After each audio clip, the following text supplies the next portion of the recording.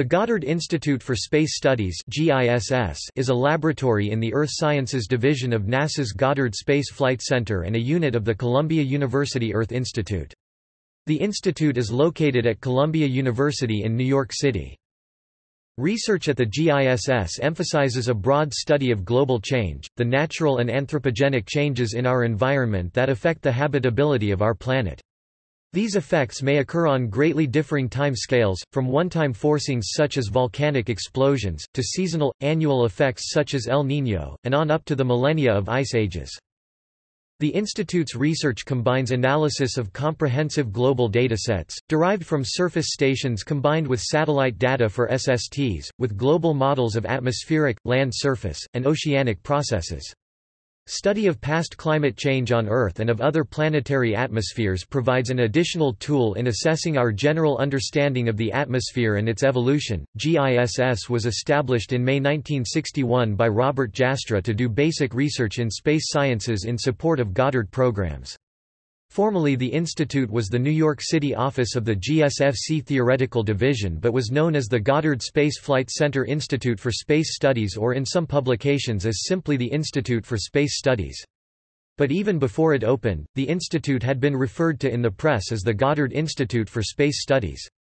It was separated from the Theoretical Division in July 1962.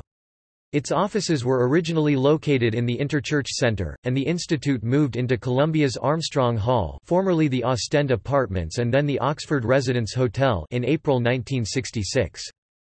From 1981 to 2013, GISS was directed by James E. Hansen. In June 2014, Gavin A. Schmidt was named the Institute's third director.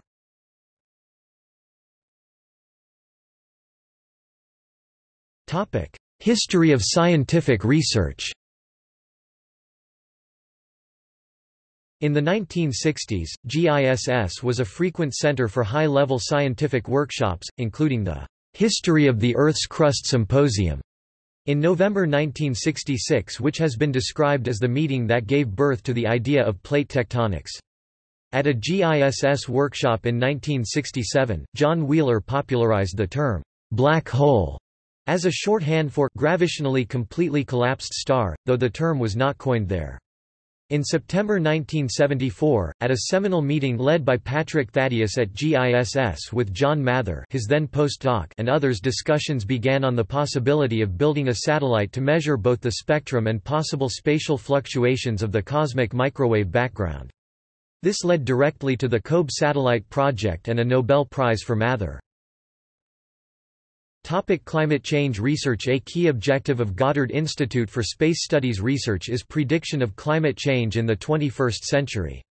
The research combines paleogeological record, analysis of comprehensive global datasets derived mainly from spacecraft observations, with global models of atmospheric, land surface, and oceanic processes. Climate science predictions are based substantially on historical analysis of Earth's paleoclimate climate through geological ages, and the sea level, temperature, carbon dioxide record.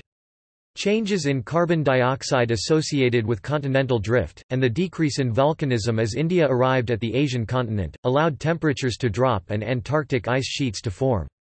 This resulted in a 75 meters drop in sea level, allowing our present-day coastlines and habitats to form and stabilize. Global change studies at GISS are coordinated with research at other groups within the Earth Sciences Division, including the Laboratory for Atmospheres, Laboratory for Hydrospheric and Biospheric Sciences, and Earth Observing System Science Office.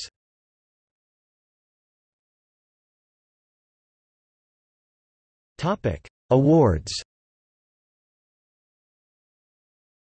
In November 2004, climatologists Drew Shindell and Gavin Schmidt of NASA's Goddard Institute for Space Studies, New York, received Scientific American magazine's Top 50 Scientist Award.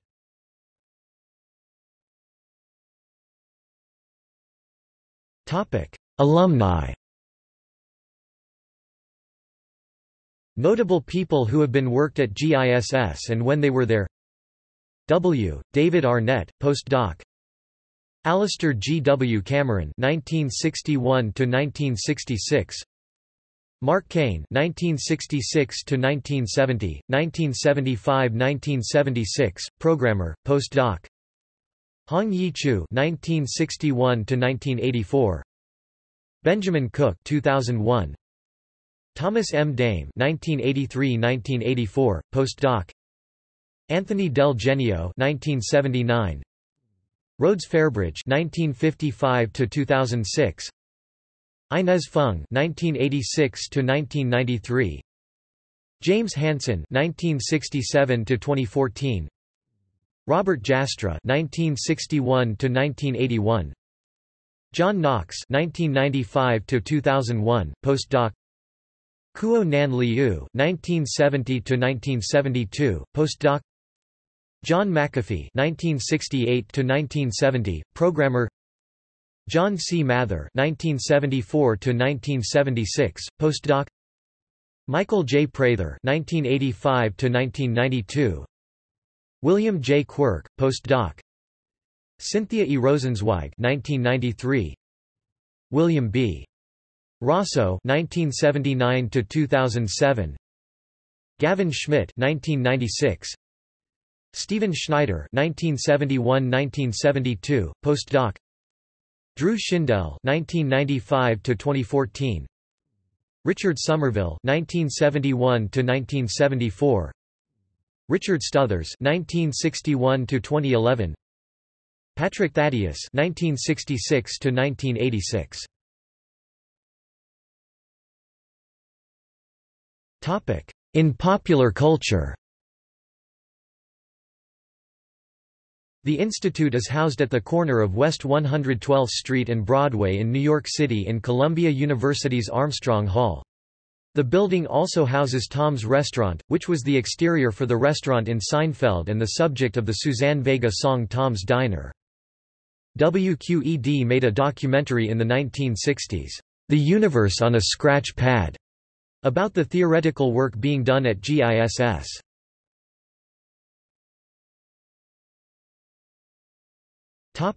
See also Earth Simulator EDGCM National Center for Atmospheric Research Robert Jastrow James Hansen